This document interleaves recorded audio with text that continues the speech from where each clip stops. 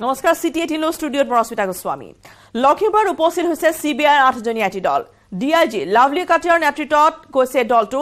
কেইবাগৰাকীও আৰক্ষী বিষয়াৰ লগতে নকল সোণৰ সৰবৰাহকাৰীকো জেৰা চলোৱাৰ আছে সম্ভাৱনা। জোনমণি ৰাভাৰ মৃত্যুৰ পিছতে পোহৰলৈ আহিছিল নকল সোণৰ সৰবৰাহ। হাছিনা বেগমকো জেৰা চলাব চি বি আই। নগাঁৱৰ পূৰ্বৰ আৰক্ষী অধীক্ষক লীনা দলেকো জেৰা কৰাৰ আছে সম্ভাৱনা। তদন্তৰ আওতালৈ আহিব। লখিমপুৰৰ পূৰ্বৰ আৰক্ষী অধীক্ষক বেদান্ত মাধৱ ৰাজখোৱা। ইতিমধ্যে মনোজ ৰাজবংশী আভা জ্যোতি ৰাভা আৰু ৰাজা ইৰছাদক জেৰা চলাইছিল চি বি আই। পুনৰবাৰ জনাইছো যে লখিমপুৰত চি বি আইৰ আঠজনীয়া এটি দল উপস্থিত হৈছে। D I G Lovely Katiyar নেতৃত্বত গৈছে দলটো। কেইবাগৰাকীও আৰক্ষী বিষয়াৰ লগতে নকল সোণৰ সৰবৰাহকাৰীকো জেৰা চলোৱাৰ সম্ভাৱনা। জোনমণি ৰাভাৰ মৃত্যুৰ পিছতেই পোহৰলৈ আহিছিল নকল সোণৰ সৰবৰাহ।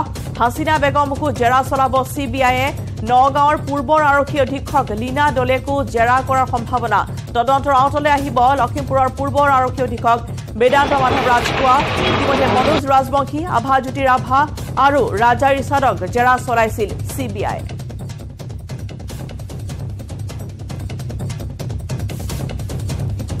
ইতিমধ্যে আমি জনাইছো যে চি বি আই এই তদন্ত লোৱাৰ পিছতেই জোনমণি ৰাভাৰ যি ৰহস্যজনক মৃত্যুৰ ঘটনা সেয়া তদন্ত লোৱাৰ পিছতে ইতিমধ্যে প্ৰতিটো দিনতে তেওঁলোকে জেৰা চলাই গৈছে আৰু ইতিমধ্যে আমি জনাইছো যে বৰ্তমান এই দলটো উপস্থিত হৈছেগৈ লখিমপুৰত।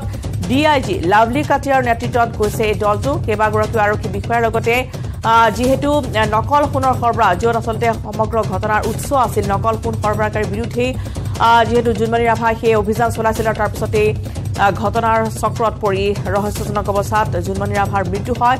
গতিকে লখিমপুৰত উপস্থিত হৈছেগৈ আৰু যি আচলতে নকল সোণৰ সৰবৰাহকাৰী জাল নোটৰ সৰবৰাহকাৰীকো জেৰা চলোৱাৰ সম্ভাৱনা আছে। জোনমণি ৰাভাৰ মৃত্যুৰ পিছতেই নকল সোণৰ সৰবৰাহৰ যি ভয়ংকৰ তথ্য য'ত লখিমপুৰৰ পৰাই চলি আহিছিল সমগ্ৰ ৰাজ্যতে সেয়া তথ্য আহিছিল পোহৰলৈ। আৰু বৰ্তমান দেখিবলৈ পোৱা গৈছে যে চি বি আইয়ে হাছিনা বেগমকো জেৰা চলাব পাৰে। নগাঁৱৰ পূৰ্বৰ আৰক্ষী অধীক্ষক লীনা দলেকো জেৰা কৰাৰ আছে সম্ভাৱনা। তদন্তৰ আজলৈ আহিব লখিমপুৰৰ পূৰ্বৰ আৰক্ষী অধীক্ষক বেদান্ত মাধৱ ৰাজখোৱাও।